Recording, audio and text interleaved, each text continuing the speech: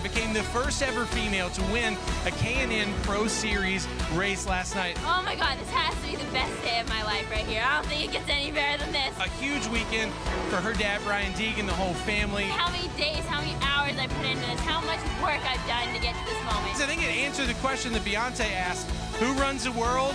Girls, that's right. This is the happiest day of my life. We did it! Wow! As you heard our Rutledge Wood mention there, 17-year-old Hailie Deegan making history Saturday night at Idaho's Meridian Speedway, becoming the first woman to win a K&N Pro Series race. And she joins us now. Hailie, I am sure this has been a long time in the making for you. What was the reaction like? We've been talking about social media on our show all night. I can't imagine what happened on your phone.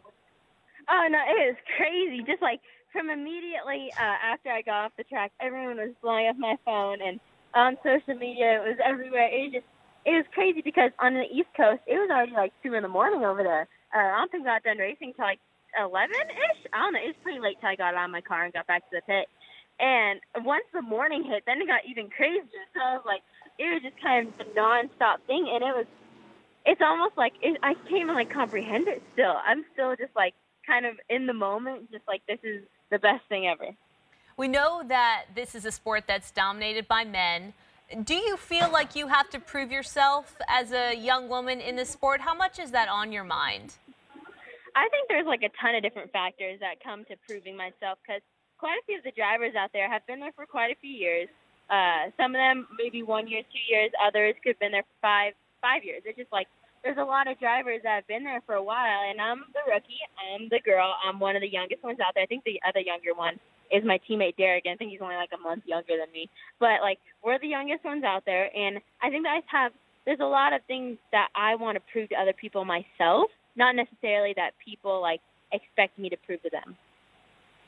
Hailie, you're the first woman to win a K&N pole, the first to win a K&N race, but I understand it was a top 10 at Bakersfield that helped you get noticed. That Kevin Harvick happened to be in that race earlier this year, and that really uh, was a good endorsement for you when he spoke so highly of you.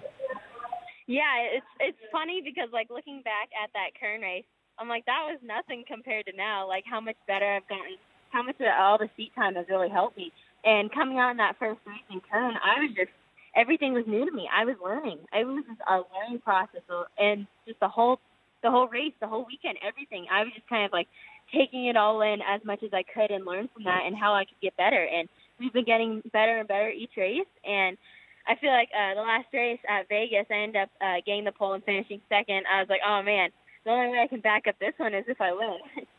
You know, reactions just been pouring in from all over the motorsports community. We have reaction from Kyle Busch, another prominent driver, of course. Congrats on the win. Nice work. What does that mean to you to, to see this and to have people recognize how long a road this has been for you?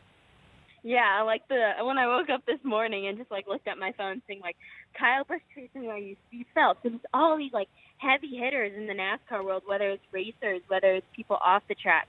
Uh, it's just it's like mind blowing what uh what winning a race can do. I feel like winning is almost the key to all success. what are your larger aspirations, Hailie? I'm sure your life has changed overnight after making these kinds of headlines, but I know there's more that you want to accomplish.